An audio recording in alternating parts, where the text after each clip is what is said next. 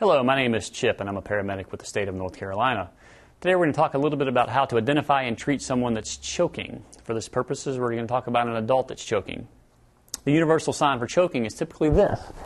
It doesn't matter where you are or who you are, when you don't get air going to your lungs anymore from food or other kind of obstructions, you will automatically want to grasp your throat.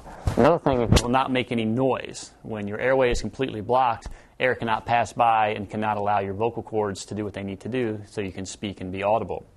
So what you want to do is you would want to approach the patient that has their hands up in the choking symbol and you want to identify yourself, you know, I'm here to help you, are you choking? And believe it or not, they will oftentimes shake their head yes, or they won't be able to respond at all.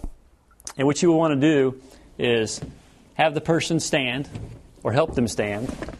Put your hands, make a fist, cover your fist right around the belly button area or just above the belt line, and you want to push in and up in rapid thrusts, in and up. And you want to continue to do this until the food's expelled or until they go unconscious.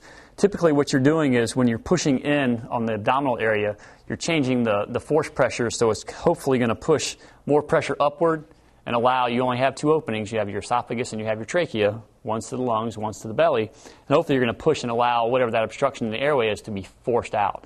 When that happens, you want to make sure you have the patient sit back down. Typically, they'll be coughing quite a bit when that happens. And so you want to make sure that they can breathe okay. And if they vomit, they're leaning over so they don't aspirate or suck any of that back into their lungs because that can cause a problem.